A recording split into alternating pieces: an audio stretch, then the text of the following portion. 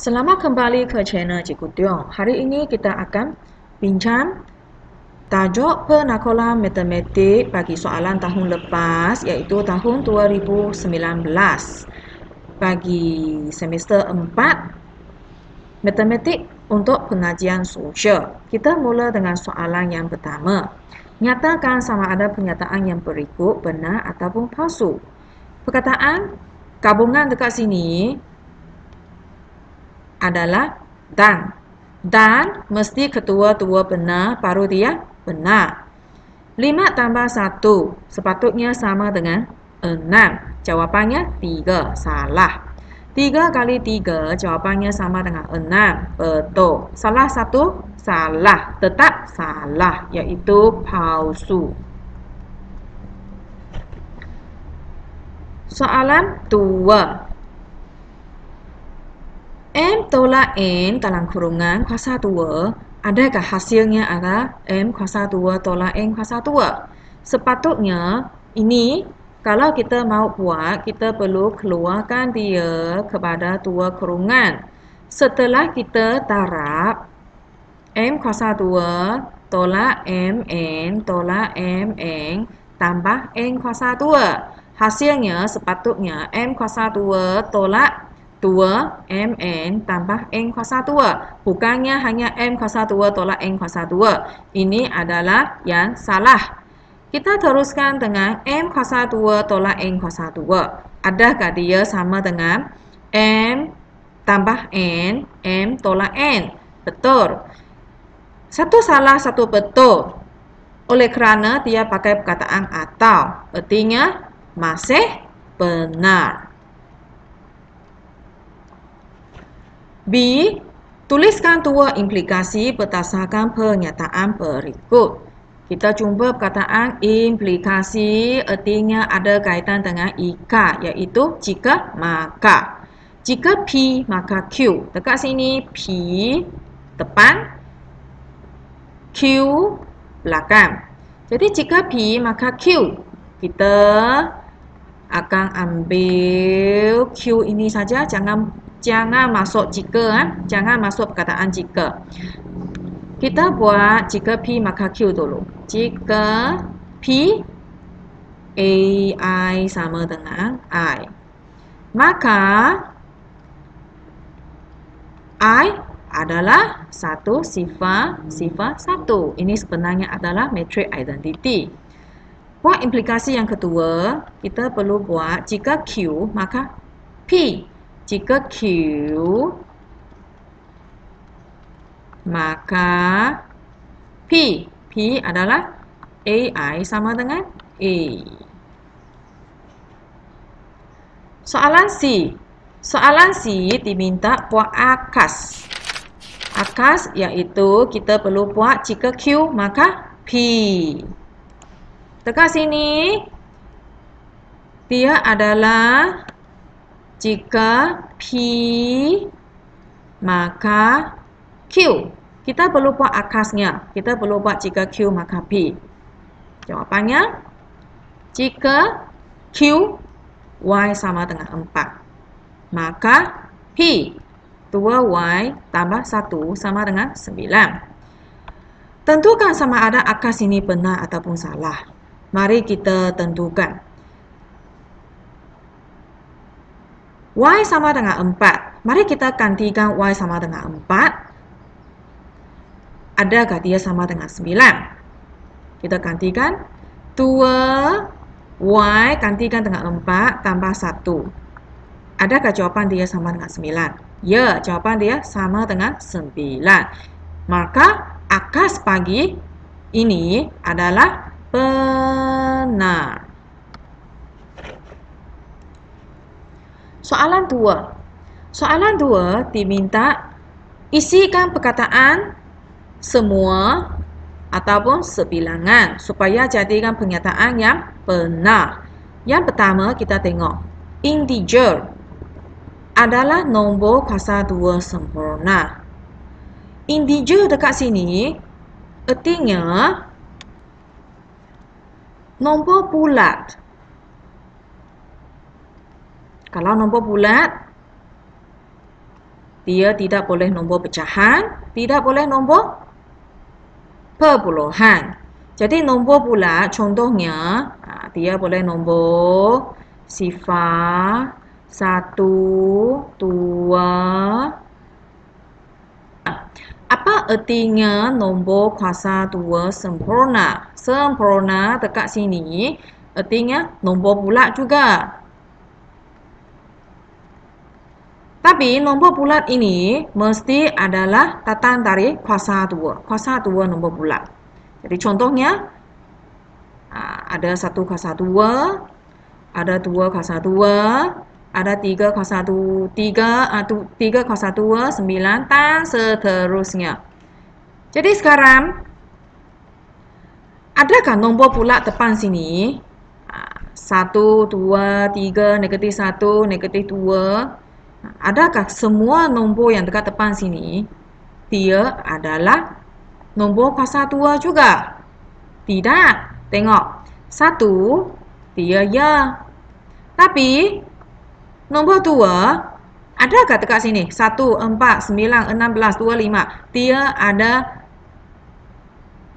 kuasa dua sempurna. Nombor dua dekat sini. Tak ada. Jadi, hanya sebilangan sahaja, bukan semua nombor, semua integer adalah nombor kuasa dua sempurna. Jadi, perkataan yang sesuai kita letak sini adalah sebilangan. Soalan nombor dua, pernyataan dekat sini, segi tiga sama sisi, mempunyai tiga paksi simetri. Segi tiga sama sisi, jadi segi tiga sama sisi, Bolehkah kita buat tiga paksi simetri? Apa artinya simetri? Simetri apabila kita buat satu garisan serenjang dekat sini, kita akan nampak image dekat atas tam dekat bawah. Kita lipat. Tapati dia, kita boleh bahagikan dia, jadikan dia sama dekat sebelah uh, sebelah atas dan sebelah bawah. Jadi paksi simetri yang garisan yang paksi simetri berapa boleh kita lukis? Ini garis yang pertama. Kita juga boleh lukis macam ini. Kiri atas uh, sama. Sini. Kiri kanan sama. Adakah dia tiga pasti simetri? Ya.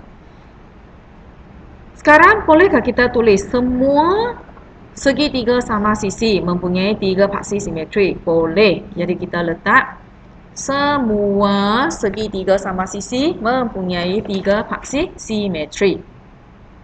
Teruskan ke B. Tuliskan premis 2 bagi melengkapkan hujah yang berikut. Jika siapa adalah P? Metrik AI sama dengan IB. Ini P. Maka Q.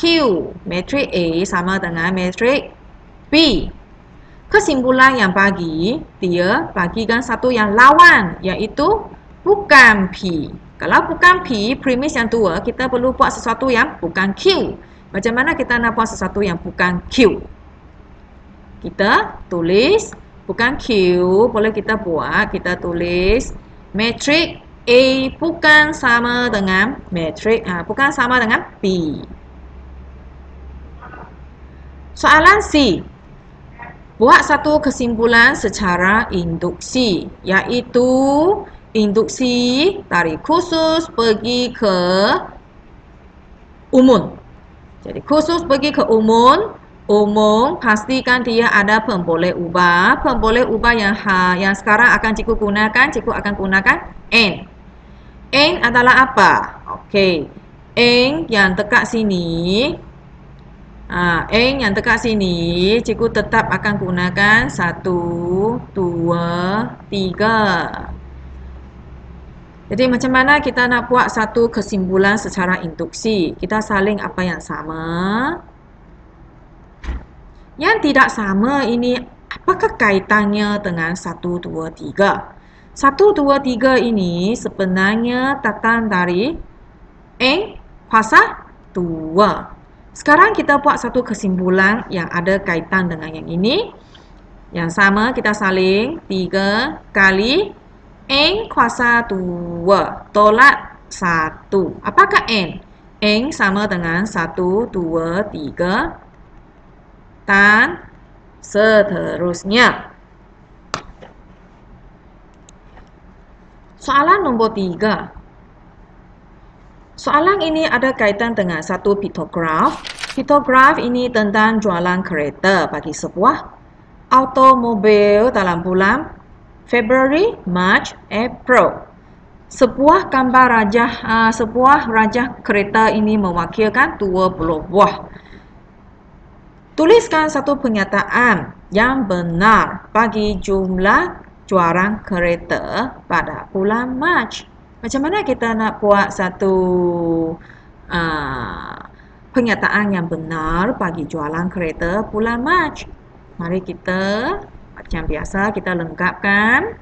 Kita tulis, kita mula dengan perkataan jumlah. Jumlah jualan kereta pada bulan Mac ialah ha, ialah berapa? Sebuah kereta mewakilkan 20. Jadi sekarang sini ada berapa 20 perlu kita tambah?